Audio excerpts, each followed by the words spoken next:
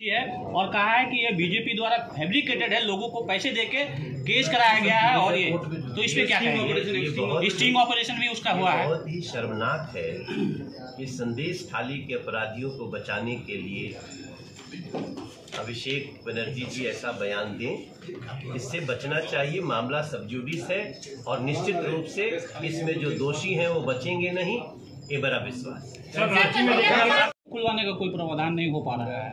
Central की ज़मीन है सर। सेंट्रल की ज़मीन है। उसका क्या उपयोग किया जा सकता हाँ है? हमारे उल्टी विधायक जी कुछ कहना चाहते हैं। ये लेफ़्ट फ्रंट के जमाने में भेंगे दाव कुड़िए दाव कुड़िए दाव। उस समय सारे कारखाने बंद हुए किंडन ग्लास फैक्ट्री हो रेली का कारखाना हो। ऐसे government sector government sector government Saint की बात हो रही है हिंदुस्तान के बिल है। बालको है। बालको के है। में मोदी जी के रिजीम में एक भी कारखाना हाँ, तो। इसी समय बंद हुआ है। मोदी जी के रिजीम में कोई कारखाना बंद नहीं हुआ बर्न स्टैंडर्ड हिंदुस्तान केवल एकदम इसी समय है। आपके चौदह के पहले बंद हो गया बाबू सुप्रिया ने बाबू सुप्रिया ने प्रयास किया था कि उसको रिहेबिलिटेट करें। मगर पहले बंद हो चुका है। मोदी जी के या फिर मुसलमानों का भावा बढ़ जाएगा। और फिर बंगाल सरकार बोल रही है, अगर बीजेपी आ जाती है तो मुसलमानों पे अत्याचार होगा। मुद्दे पर तो कोई बात नहीं कर रहे हैं आप लोग। आप लोग जाति बात पर ही बात कर रहे हैं या एक एक मिनट। अभी तो मुद्दों पर ही बातचीत हुआ ना कि क्या क्या डेवलपमेंट हुआ है यहाँ पे। तीस हज़ार करोड़। आपको मुद्दा दिखाई ही नहीं दे रहा। आप आप खुद जो है धर्म पे जाना चाहते हैं। यहाँ पे इन्होंने साफ़ साफ़ शुरुआत ही किया। तीस हज़ार करोड़ रुपया से विकास। शुरुआती किया फ्लाई ओवर पे। आप मनीष जी मेरी बात नहीं, नहीं। समझ पाए मैंने आप जो डेवलपमेंट कर चुके हैं उस पर बोले हैं। आप मगर मैं कह रहा हूँ कि ये चुनाव में किसी का पास मुद्दा नहीं रह गया है।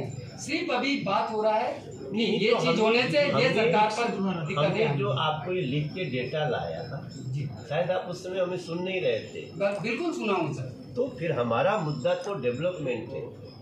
हमारा मुद्दा तो इस देश के गरीबों को अगले पाँच साल तक उसको राशन का पैसा ही नहीं लगने वाला है। आपने शायद ध्यान से नहीं सुना कि हमने तो अभी तक 12 करोड़ लोगों के घर में पहली बार महिलाओं के लिए इज़्ज़त घर बनाया।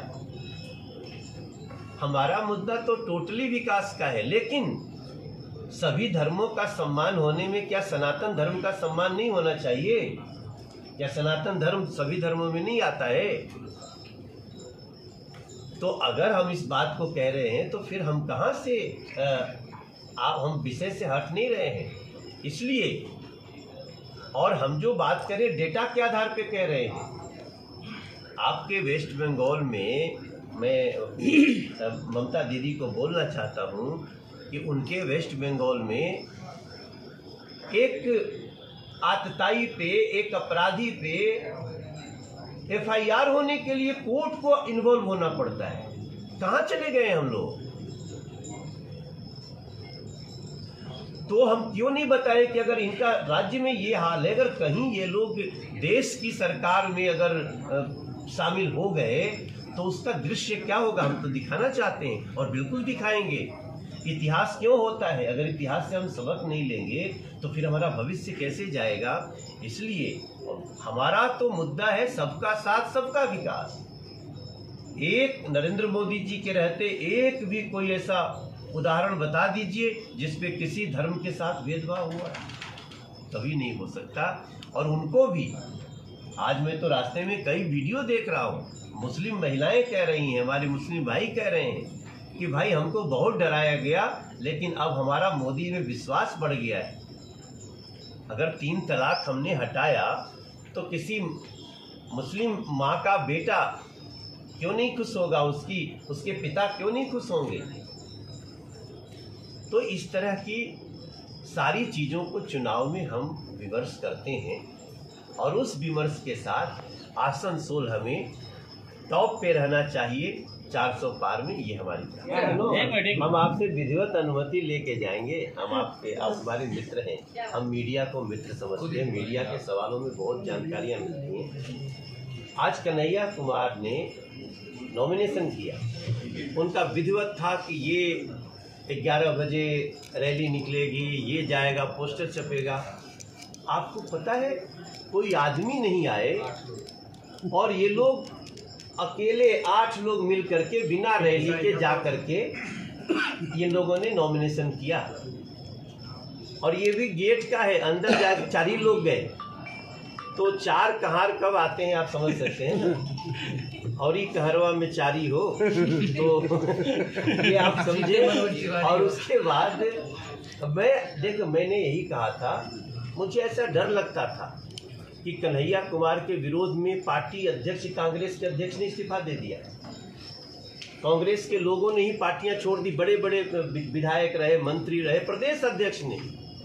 तो जब कांग्रेस ही चली, और जो नहीं गए हैं ना, वो खुलेआम उनके खिलाफ चल रहे हैं। आम आदमी पार्टी से समझौता हुआ है मगर आम आदमी पार्टी का कार्यकर्ता भी अरविंद केजरीवाल जी के इस अब भ्रष्टाचारी सोच के साथ वो नहीं है। कल उनका भी बहुत बड़ा आदमी बीजेपी ज्वाइन किया।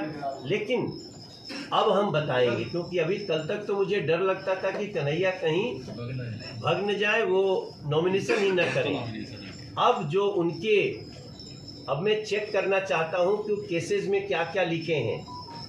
मैं खुलेआम कह रहा हूँ, हम, हमारी टीम चेक करा रही है।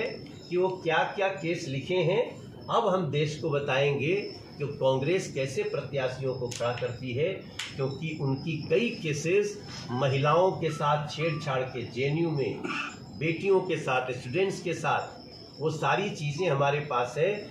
आई वॉन्ट टू चेक कि वो उन्होंने डाला कि नहीं उसके बाद अब कल हमको पहुंचने दीजिए फिर मैं आप सबको बताऊंगा আপনি কি দীর্ঘদিনের কোনো সমস্যায় ভুগছেন বিদ্যা চাকরি ব্যবসা বিবাহ অশান্তি কুষ্টি জটক বিচার বাস্তু বিচার সমস্ত সমাধানের একমাত্র সেরা ঠিকানা কামাখ্যা ও তারাপীঠ সিদ্ধতান্ত্রিক ও জ্যোতিষী ডক্টর প্রসাদ রয় আমাদের ঠিকানা R C by eighty Bengal Ambuja near Jorahat rotary city centre Durgapur. Phone number seven four zero seven two five zero five five five আরও একটি নাম্বারে আপনারা যোগাযোগ করতে পারবেন seven six seven nine two four seven six eight two আর দেরি না করে বুকিং করে আজই চলে আসুন। ডক্টর প্রসাদ রায় দীর্ঘদিন বেঙ্গল অম্বুজার এম এ এবি জিরো সিক্সে ছিলাম। বর্তমানে আমি Bengal অম্বুজারি RC eighty near Jorahat rotary. এখানে আমরা চেম্বারটি স্থানান্তরিত করেছি। বর্তমানে এখানেই আছি। আপনারা এখানেই আমাকে সবসময় পাবেন।